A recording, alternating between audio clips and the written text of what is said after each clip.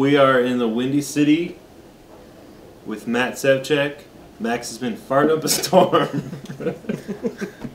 I haven't. so, we are here in Chicago.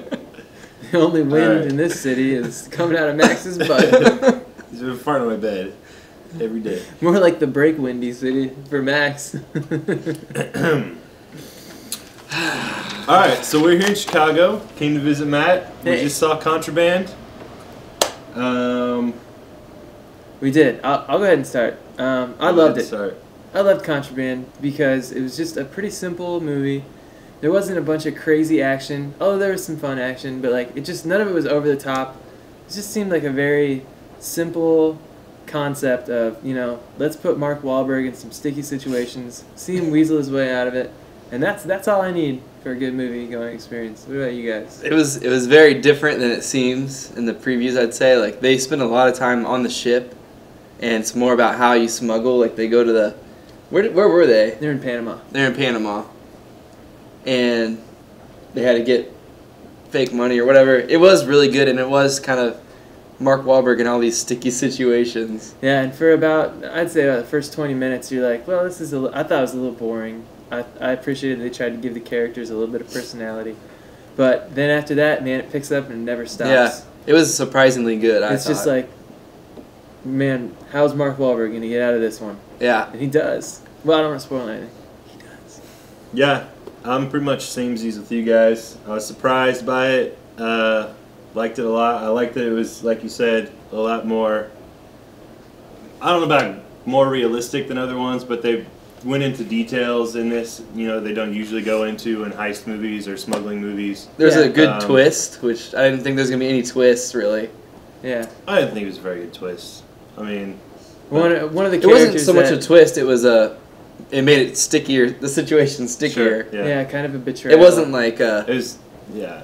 I don't know. Yeah. Anyways, um, Ben Foster. I didn't even know he was in it, but I love Ben Foster. Ben Foster's And he really was a good big in it. part in it, and he was really good in it. I mean, everybody has like a good motivation. Nobody's just evil for no reason. I don't like Ben Foster because he broke up with Kirsten Dunst and really broke her heart. yeah, isn't that kind of a good thing though? I mean, that's I mean, she's single, right? I don't want to date her. I just want her to be happy. Um, Giovanni Ribisi, Ribisi is also in it, and he, he he's probably the only thing that's kind of over the top. I But- thought he was really good. I thought he had cool little. I don't know what I had. mannerisms that were that were really cool. Well, from like from the previews, it seems like he's gonna be this really over the top, goofy character, and in the movie, he's actually a lot better. Like that's the only thing I was like, I'm probably not gonna like him too much. He talked in kind of a quirky way. I don't know. I really liked his character. Yeah, it. he he's was alright. quirky. He, I don't know. I'm. I don't know how I felt about him. yeah. I've Alright. never. I've never been Anyway, like he go see it. it if you want to see just kind of a cool sort of heist movie. If you're into, you know, it- it's not all self-referential and winking at itself like you know an Ocean's Eleven heist movie. It's just kind of a simple. Let's get these guys in Yeah, it's good. crazy situations. Okay, I got of it. some. I got some better or worse movies. These all have a theme. I was gonna have you guys guess, but it's really too hard. Let's still guess. All right, uh, the Mighty Ducks. Better. I don't know. That's a The classic. original, Um, it's bad. Today, Slightly better. worse. When we were children, Mighty Ducks is better. I mean, Yeah, that's Yeah. true. but today, okay. Uh, Boogie Nights. I'd say better. I didn't really like Boogie Nights. as Uh, I much. love Boogie Nights. I liked better than Boogie It's Nights. really good. Oh, I'm gonna say worse than Boogie Nights, but only slightly Analyze this. better. better. Better. Blades of Glory. Way better. Way better. Way better. Okay, so we have Blades of Glory. We're gonna give our audience a chance to get this too. Mighty Ducks, Boogie Nights. Boogie Nights. Analyze this. Analyze this. Something about ice skating. It's No. it's not a fair. It's not a fair one. I mean, They all had the same producer. no. I don't know. Mark Wahlberg was in Boogie Nights, He wasn't in but Blades. of Emilio Glory. Estevez was in. So they all feature songs performed or written by Mark Wahlberg. Wow. What you song was written by Mark Wahlberg? They, they all they all feature songs that were. I know which one. and What was this one by Mark in Wahlberg. this movie? No, he was. Just, I I don't know that he did any music in this one. He was. Just, but those four movies right, those did. four movies feature. Oh, oh, okay. Oh, so did you just look up every like New Kids on the Block movie?